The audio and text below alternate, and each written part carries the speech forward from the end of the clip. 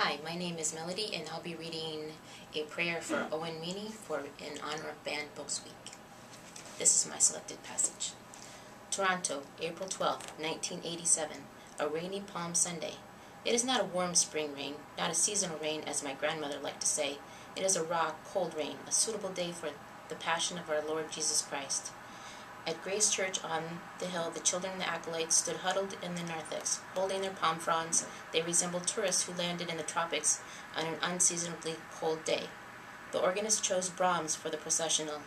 O Welt, ich muss dich lassen. O world, I must leave you. Owen hated Palm Sunday, the treachery of Judas, the cowardice of Peter, and the weakness of Pilate. It's bad enough that they crucified him, Owen said, but they made fun of him, too. Canon McKen Mackie, sorry, read heavily from Matthew, how they mocked Jesus, how they spit on him, how he cried, My God, my God, why hast thou forsaken me? I find that Holy Week is draining. No matter how many times I've lived through his crucifixion, my anxiety about his resurrection is undiminished. I am terrified that, this year, it won't happen. That, that year, it didn't. Anyone can be sentimental about the Nativity. Any folk can feel like a Christian at, Christ- at Christmas. Easter is the main event. If you don't believe in the resurrection, you're not a believer.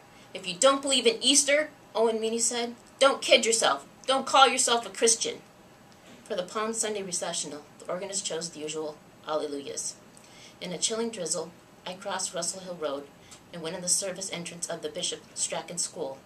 I passed through the kitchen where the working women and the boarders, whose turn it was to help with the Sunday meal, all spoke to me. The head mistress, the Reverend Mrs. Katherine Keeley sat in a usual head of table position among the house mothers, about forty boarders, the poor girls who had no local friends to ask them home for the weekend, and the girls who were happy to stay at school sat around the other tables. It is always a surprise to me to see the girls not in their uniforms. I know it's a great relief to them to wear their uniforms day in, day out, because they don't have to worry about what to wear. But they're so lazy about how they wear their uniforms.